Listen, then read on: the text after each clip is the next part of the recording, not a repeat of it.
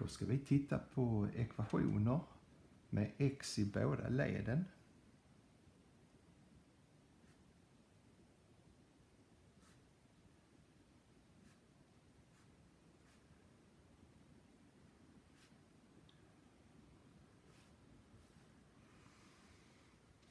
Vi är ju vana vid eh, att man bara har x antingen på vänster eller högersidan. Eh, men eh, nu ska vi titta på ekvationer. Och jag har några exempel här där man har x i båda leden. Både på vänstersidan och på högersidan. Och det kan kännas lite ovant att flytta x-termerna över likhetstecknet. Men man gör precis likadant som man har gjort innan. Så vi tittar på de här exemplen och löser dem tillsammans.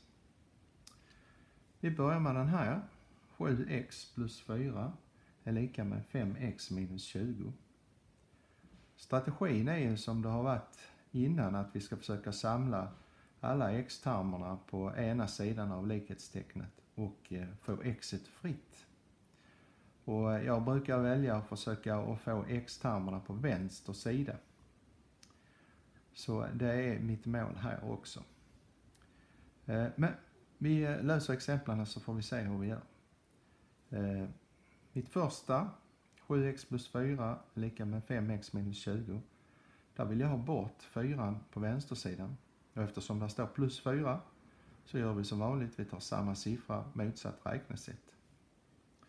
Så jag skriver 7x plus 4 och så tar jag minus 4 och gör jag någonting på ena sidan så får jag göra likadant på andra sidan. Så jag lägger till minus 4 på bägge sidorna här. Och då tar de här fyrorna ut varandra. Så kvar på vänstersidan har jag 7x. Och på högersidan blir det 5x minus 24. Nu vill jag bli av med x-termerna på högersidan. Och då gör jag som så att jag tar minus 5x på denna sidan. Och då blir jag av med dem. Och då gör jag likadant på vänstersidan. Så här blir 7x minus 5x är lika med 5x minus 24 minus 5x. Och det är de här som jag har lagt till. Och 7x minus 5x kvar blir 2x. Och det ska då vara lika med, de här tar ut varandra, minus 24. Eh, jag har 2x, där står egentligen 2 gånger x och jag vill ha x fritt. Så jag tar samma siffra, motsatt räknesätt, alltså division, dividerar med 2 på bägge sidor. Och då får jag att x är lika med minus 12. Då sätter jag in det i min ekvation och så ser vi om det här stämmer. 7 gånger minus 12, det blir minus 84. Plus 4, det är minus 80 för här uppe. Då ska det bli minus 80 på andra sidan också. 5 gånger minus 12, det är minus 60. Minus 20, det är minus 80. Det stämmer. x lika med minus 12 är en lösning till ekvationen. Då tar vi nästa. 2x minus 9 är lika med 6x minus 7.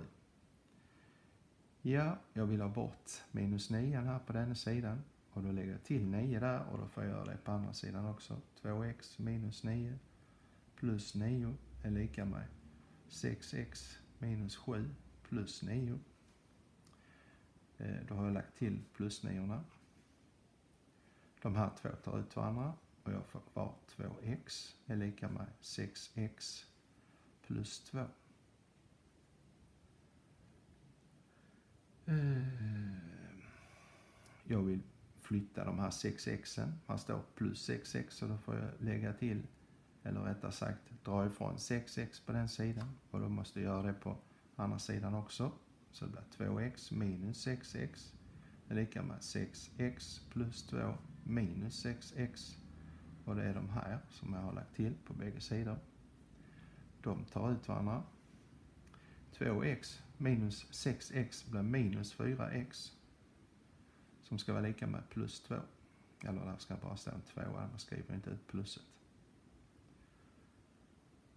Eh, vad gör jag nu? Jo, här står minus 4 gånger x. Och jag vill få x fritt. tar samma siffra, motsatt räknesätt, dividerar med minus 4. Då får jag x fritt. Och x blir då lika med, eftersom här är olika tecken i division så får vi minus. Och det blir minus en halv. Och det kan jag skriva till minus 0,5. Och då sätter jag in och så provar jag det i ekvationen. 2 gånger minus 0,5 det är minus 1. Minus 9, då får jag minus 10 på denna sidan. Vad blir det här då? 6 gånger minus en halv, det är minus 3. Minus 7, det blir minus 10. Så det stämmer. Då går vi vidare på ekvation nummer 3. Eh, lite lurig eftersom vi har ett minustecken på x på denna sidan. Men det ska vi nog kunna fixa. I vilket fall som helst är det de här 17 som jag vill bli av med först. Så jag får ta minus 17 på den sidan för att få x-termerna fria. Och då får jag likadant på den sidan. Så här blir alltså 17 minus 6x minus 17 är lika med 4x minus 8 minus 17. De här 17 tar ut varandra och det var de som jag la till. Jag får kvar minus 6x är lika med 4x minus 8 minus 17, det blir minus 25. Och nu vill jag flytta över de här till den sidan. Så då måste jag alltså ta minus 4x här och då får jag likadant på andra sidan. Så då minus 6x minus 4x är lika med 4x minus 25 minus 4x. Och lagt till de här minus 4xen. Eh, här tar de ut varandra. Minus 6x minus 4x är lika med minus 10x. Och det ska då vara lika med minus 25. Jag vill ha x fritt. Här står minus 10 gånger x. Samma siffra, motsatt räknesätt. Jag dividerar med minus 10 och då får jag göra det på samma dag på andra sidan. Jag får x fritt. Och i en division med minus blir svaret plus. Så jag får att x är lika med 2,5. Jag sätter in och kollar detta. 17 minus 6 gånger 2,5, det blir väl 15.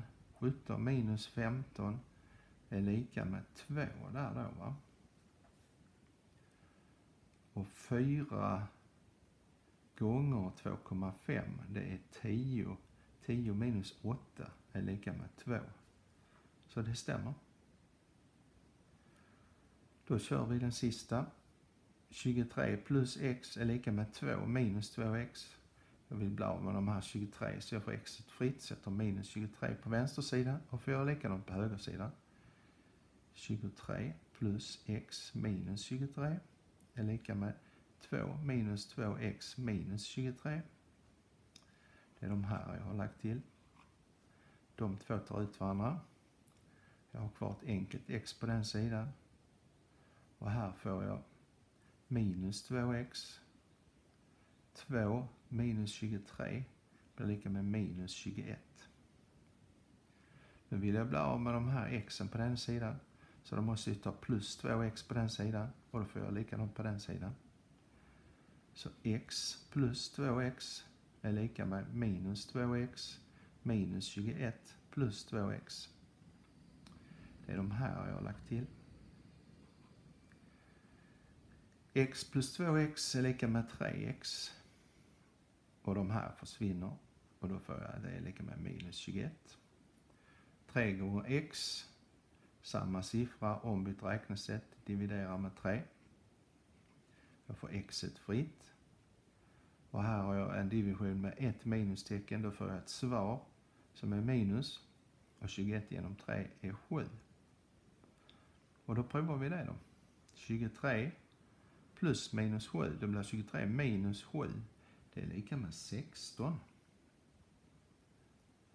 Och här får jag 2 minus minus 14. 2 plus 14, det är 16. Och då stämmer det. Det här var lösning med ekvationer med x i båda leden. Lite lurigt, men som ni ser, man gör precis likadant med x-termerna som man gör med eh, siffertermerna. De går att flytta över eh, likhetstecknet.